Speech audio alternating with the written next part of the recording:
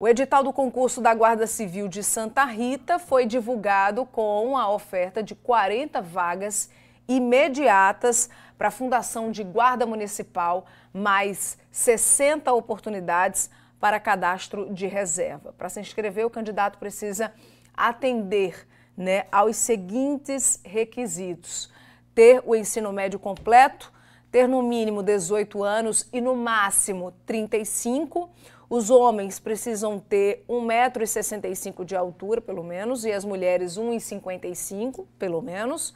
Também a carteira de habilitação nas categorias A e B. As inscrições podem ser feitas entre os dias 15 de maio a 20 aí 20 de junho e poderão ser feitas no site da banca organizadora que é o avalia.org.br/concursos. A taxa de inscrição custa 87 reais.